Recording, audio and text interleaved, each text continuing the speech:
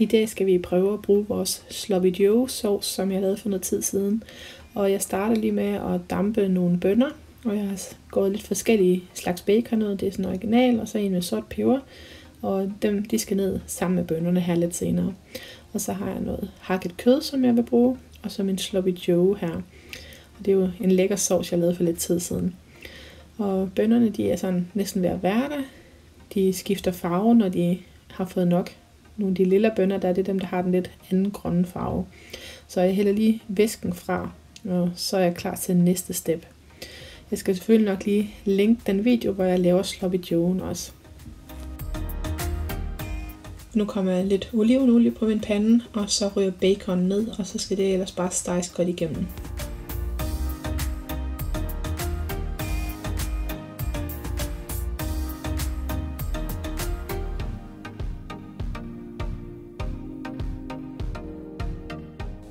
Jeg prøver på at få stykkerne lidt fra hinanden, så de bedre kan blive stegt. Jeg synes, der er lidt for meget bacon til i dag, så jeg tager lige noget af det, der ligger til side, og så kommer jeg bønderne ned til det resterende bacon. Jeg gider ikke lige at skulle til at hakke hvidløg, så jeg kommer bare lige noget af det her hvidløgsgranulat ned i. Og det, det her mærke, det smager helt vildt godt. Det har en virkelig kraftig hvidløgssmag. Så hvis man ikke lige overgår at hakke hvidløg, så er det et godt alternativ. Og jeg blander det bare lige rundt, sådan, så det hele får smag af hvidløgn. Og så kommer jeg det op i vores skål, fordi så er bønderne ved at være klar. Og så skal jeg lige om et øjeblik i gang med selve sloppy joe mixen. Så jeg starter bare lige med at komme lidt ekstra olie på, og så mit kød ned i. Og så hakker jeg det lige lidt fra hinanden, sådan, så det hele kan blive stegt godt. Og så får det ellers lov til at hygge sig lidt. Og imens kommer jeg lidt salt og peber på. Og det meste af smagen i det her, det kommer jo fra den sovs, jeg har lavet. Og her har jeg skålene med vores bønner og bacon, og en sloppy joe, den spiser man generelt i en bolle.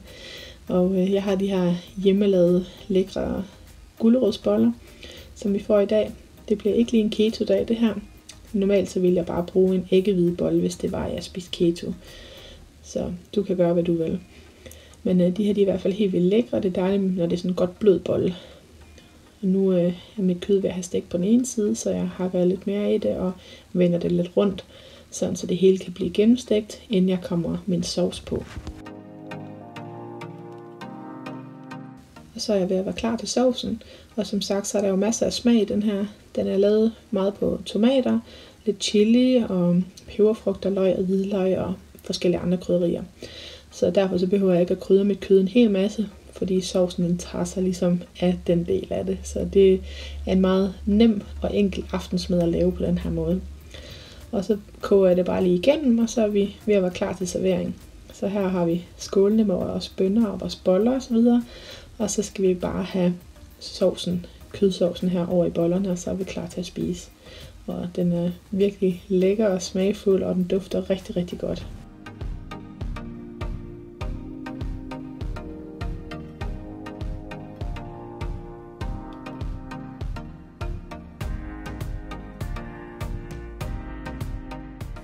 Nogle spiser den nærmest som sandwich, men jeg kan godt lide, når kødsovsen er en anelse mere flydende, og så man spiser det med kniv og gaffel. Så det er sådan her, vores mad ser ud i dag, og det var rigtig, rigtig godt. Øh, det var faktisk så godt, så jeg med nogle flere tomater lavede endnu en stor portion af den her sloppy joe mix. Så jeg har rigtig mange glasplager nu, og de kan holde sig i lang tid, når nu de er henkogt. Så hvis du selv har lyst til at prøve dig med det, så husk at følge linket, så kan du se, hvordan jeg lavede selve sovsen til det også.